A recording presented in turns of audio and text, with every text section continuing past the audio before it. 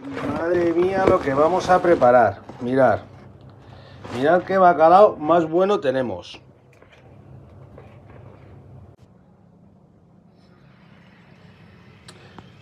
Ahora lo vamos a meter en agua y lo vamos a dejar en agua durante 48 horas en la nevera. Pedazo de receta nos vamos a marcar con este bacalado que hemos comprado rico rico, mirad, ¿eh? No tiene desperdicio ninguno. Tremendo. Veréis el pedazo de receta que nos vamos a marcar. Es que, mirad, mirad.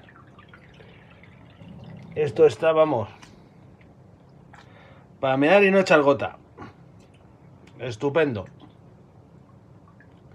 Próximamente, en Me tienes hasta los fogones, recetas de bacalado.